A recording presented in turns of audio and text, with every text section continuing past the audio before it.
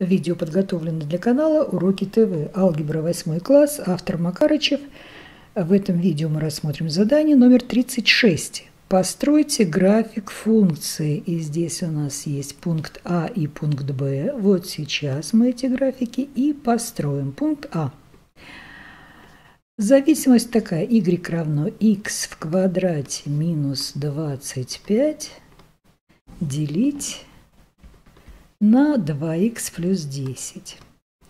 Но для того, чтобы построить график такой функции, конечно, мы преобразуем это выражение, которое стоит в правой части. Но прежде чем мы это сделаем, мы разберемся с областью допустимых значений. Это те значения, которые может принимать переменная x, и это те значения, для которых функция определена. А не определена она может быть только в том случае, при таких значениях x, когда знаменатель вот этого выражения обращается в ноль.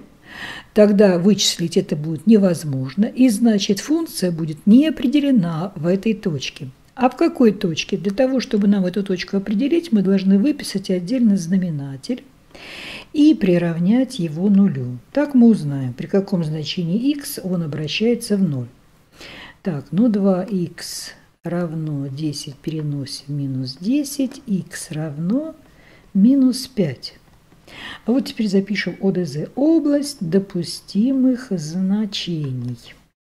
х не равно минус 5. Вот эта запись обозначает, что х может принимать любые значения, кроме минус 5, потому что при этом значении x функция не определена, ее значение вычислить невозможно. А вот теперь мы будем преобразовывать выражение, стоящее в правой части. x квадрат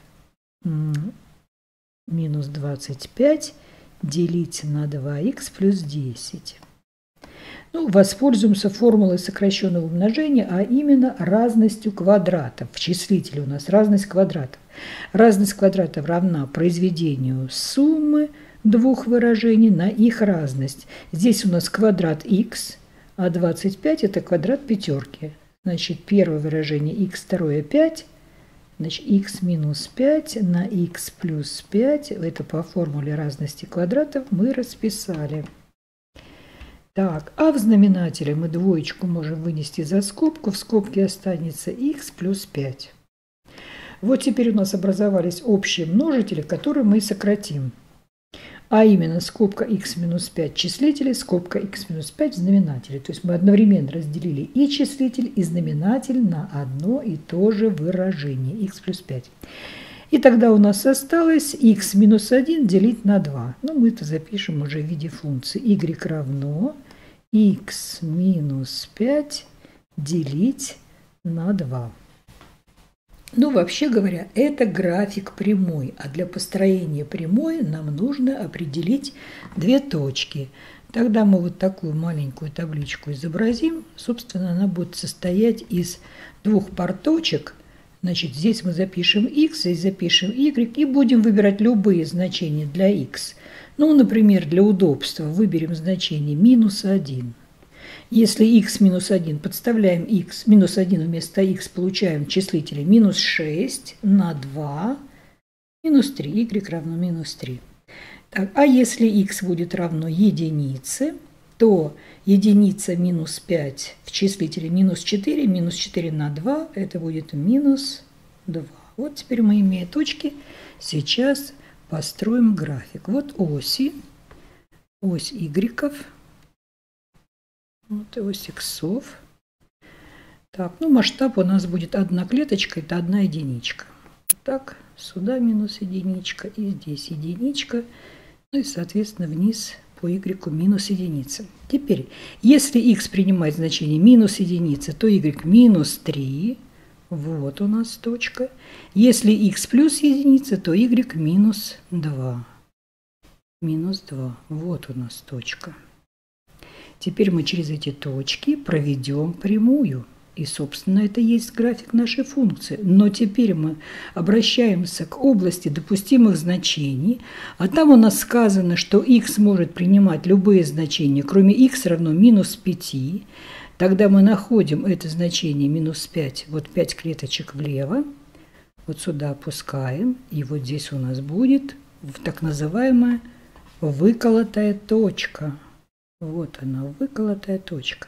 Это означает, что при x равном минус 5 значение функции не определено, а значит графика нет в этой точке. А вот все остальные точки прямой, они входят в график данной функции. Пункт Б. Так, в пункте Б у нас такая зависимость. y равно x в кубе минус 9x делить на x в квадрате минус 9. Здесь мы тоже будем преобразовывать, но вначале разберемся с областью допустимых значений. Для этого мы знаменатель выписываем отдельно, приравниваем его нулю, получаем x в квадрате равно 9, значит x равно плюс 3 или минус 3. Два значения. Что это означает? Теперь запишем ОДЗ. Это означает, что x может принимать любые значения, кроме плюс 3 и минус 3. Значит, x не равно плюс минус 3. Так, ну а теперь преобразуем выражение в правой части. x в кубе минус 9х делить на x в квадрате минус 9.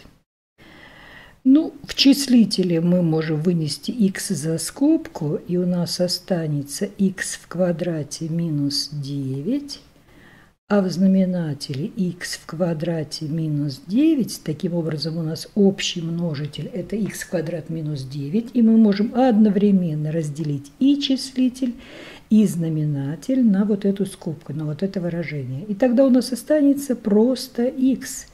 Тогда наша зависимость тогда выглядит вот так. y равно x. Ну, график этой функции очень просто построить. Это тоже прямая. Вот, чтобы ее построить, выбираем любые значения для x и, соответственно, определяем значение y, но очень просто. Если x 0, то y 0. Если x, например, 2, то y 2.